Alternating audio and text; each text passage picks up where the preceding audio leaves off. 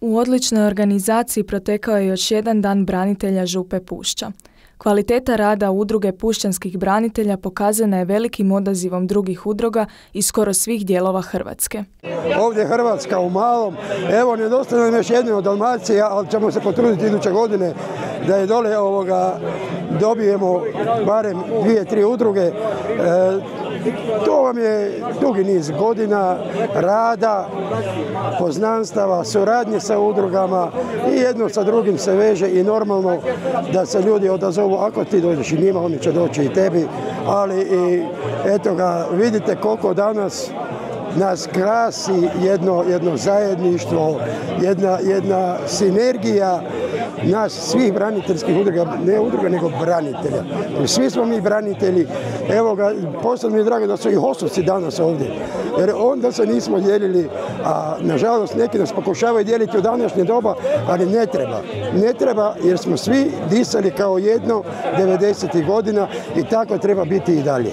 Godine sve bolje, sve bogatije, sve posjećenije, sve ste dobro rekli i ja mislim da naši branitelji svake godine dižu sebi sami ljestvicu i iz godine u godinu ovoga, ta, tu manifestaciju dovedu do savršenstva i evo ja kao načelnika i kao mještanin općine Pušća prvenstveno to jako sam ponosan na sve što rade, e, na sve što su napravili u proteklom razdoblju, a evo i ove godine na organizaciji, svemu ja im čestitam na prekrasnom obilježavanju Dana branitelja Župe e, Pušća.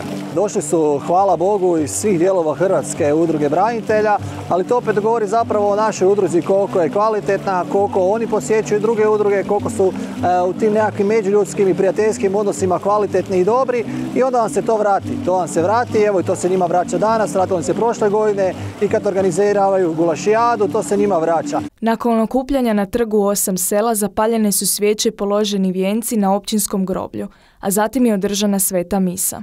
Po završetku sve okupljene čekalo je druženje uz lovački gulaš i program. E, što bi se reklo e, sa strane udruga HOSA probili led i došli ovdje u Pušću, a sami smo se jako ugodno iznenadili koliki broj udruga je iz cijele Hrvatske došlo isto ovdje u Pušću. To je samo dokaz da braniteljske udruge koje stvarno rade, koje su okrenute prema braniteljima, a ne sebi svrha, da imaju budućnosti. Samo nadamo se da će evo mladi krenuti našim stopama i na neki način nastaviti tamo gdje mi stanemo.